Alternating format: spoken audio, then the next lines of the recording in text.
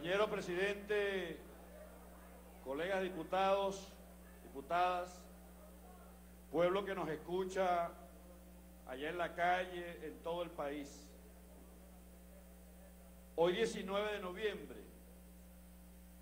es un día de patria, es un día de fiesta nacional, de fiesta democrática. Hoy los venezolanos y venezolanas estamos aprobando estos poderes habilitantes enmarcados en lo que establece la Constitución. Y por supuesto que vamos a aprobar este artículo en el ámbito de la lucha contra la corrupción.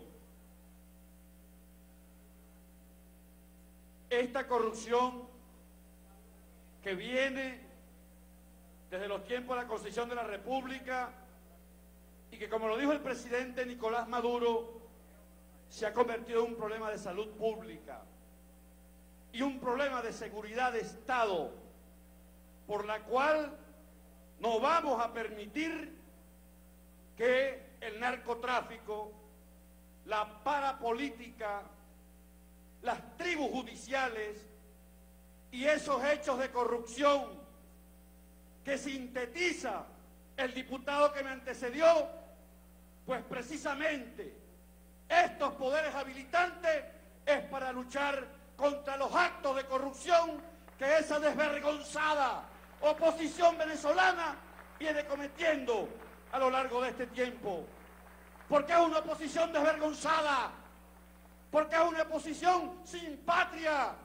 Allí están los usureros, los matraqueros, los que promueven la corrupción, el narcotráfico, el blanqueo de capitales.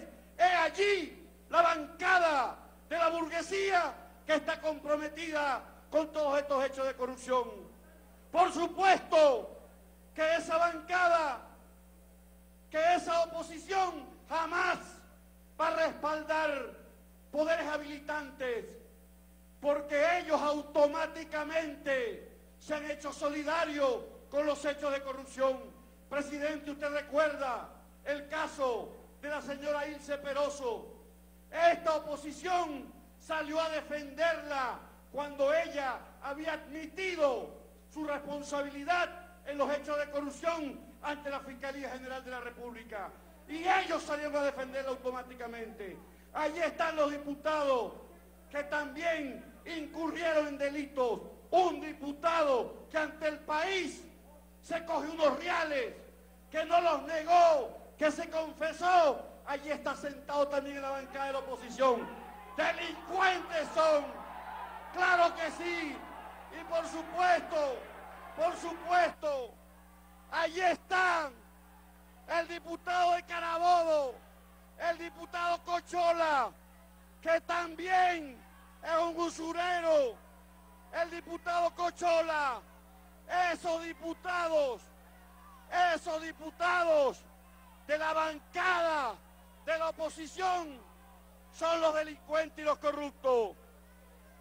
Finalmente, finalmente, presidente, esta bancada de la revolución ha pegado al legado de Hugo Chávez.